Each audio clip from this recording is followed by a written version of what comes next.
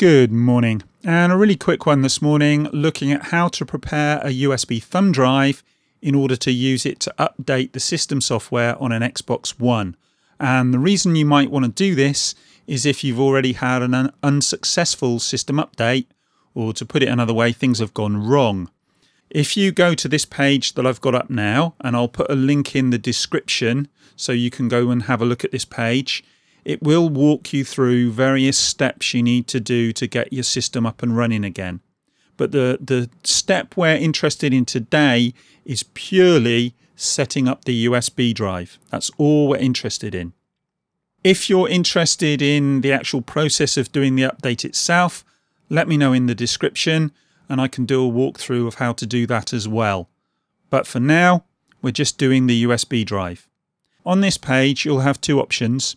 It says, I need to troubleshoot a system update error or I need to update my console offline. Now, the first one here you would go through first. Once you've encountered problems, go through what it shows you here, try all the solutions. That might get you up and running. If it doesn't, then you'll need the second option. And as I say, that's the one we need now. So click on that and it says step two, perform an offline system update. And at the bottom here, it gives you two options. One is for the original Xbox One and one is for the Xbox One S or Xbox One X.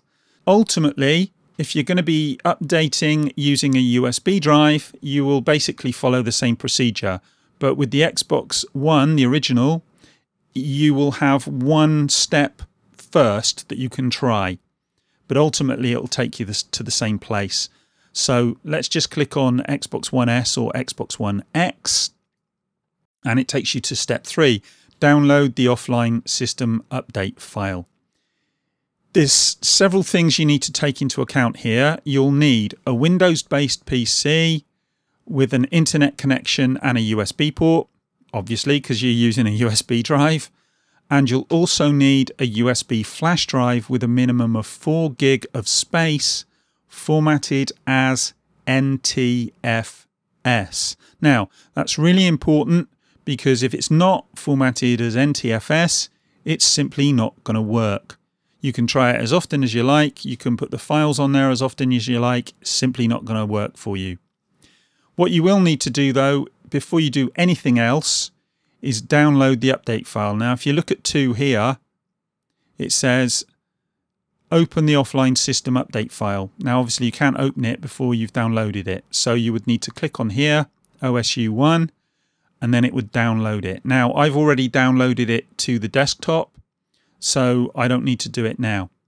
So let's just go to the desktop because we're done with this information here. And as I say, you can read it to your heart's content and it is worth looking at. So let's go to the desktop. As you see, I've got the Xbox update here. So I'm going to double click on that. And you can see OSU1 zip, and that's what we're going to need. But before we do that, we're going to need to format the USB drive. So let's just plug the USB drive in first and get that sorted. As you can see, the drive has come up and it's empty. However, it has, got a name because I was using it as a boot drive for something or other. But it will need to be formatted.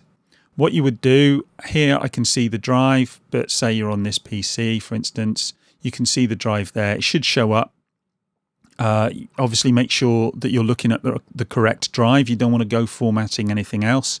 Should be fairly straightforward because it should be, as long as you haven't got any other USB drives plugged in, should be the smallest one there. So this one, it's empty and it's 29 gigs, so it's a, a 30 gig drive, I believe. If you right click on it and go down to format, and if you look on here, it's got various options. Capacity, you don't need to worry about that. File system, FAT32 default. So you're going to need to change that. And if you look here, you've got three options, NTFS, FAT32 default, and exFAT. And as I say, you will need NTFS if you're going to be using this on the Xbox. So select that. Everything else can be pretty much left as default I'm just going to change this. Just call it, I don't know, Xbox and you can call it anything you like or you can leave the label blank. And then quick format's fine. Click on start. Warning, formatting will erase all data on this disk. To format the disk, click OK. To quick click cancel. So we want to format it. We don't want to uh, cancel.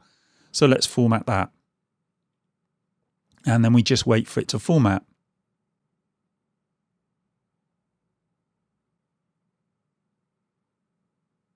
and it says format complete. So we can close that down now. And if we go back into it, right click, and we do properties, you can see on here, you've got USB drive, file system, NTFS. So that's what we want. So we can cancel out of that and double click the drive. So as you see, the drive is there with nothing in it. So next thing you want is the OSU1 zip file and that should be where you've downloaded it to. As I say, I'll just shut that, this down. I've downloaded it to the desktop. Obviously you need to take a note of where you've downloaded it to and then just open the folder where it is and then right click on the zip file and select extract all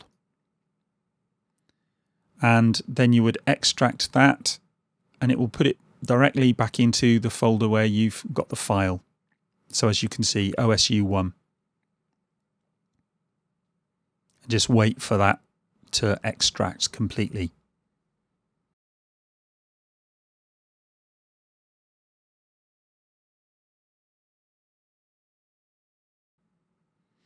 Okay, so that's extracted and it's actually opened up the folder that it's gone into. And if you can see in the folder, we've got dollar sign system update. Now, let's just quickly go back to here. It says copy the system update file, uh, the zip file to your flash drive. Sorry, from the zip file to your flash drive. So this file here, system update, needs to be copied directly to your flash drive. And it says note, the files should be copied to the root directory and there shouldn't be any other files on the drive. So it has to be completely empty apart from this one file. So let's just go back to the desktop and open up these two. Should be the right ones.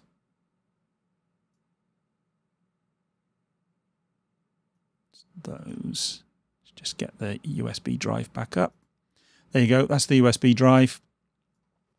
And what you would need to do is the system update file just needs to be transferred across to your USB drive. And we'll just wait for that to copy across.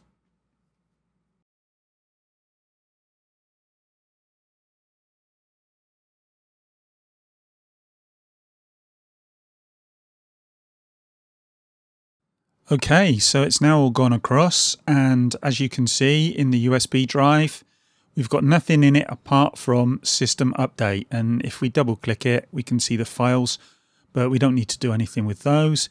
It's all ready to go. All we have to do now is right click and eject and remove the USB drive from the computer and take it to the Xbox and we should be all ready to do the update. And as I say, if you're interested in watching me do the update itself, I can do a video about that as well. So let me know in the comments. But as I say, this one is just for setting up the USB drive. Hopefully that'll have helped someone because I know these things can be a bit of a pain at times. And I've done things and not read through and found that, you know, there's things I've missed. So as I say, that's that done. And I'm going to go and get myself a cup of tea like I usually do. And I'll speak to you guys in the next one. Bye.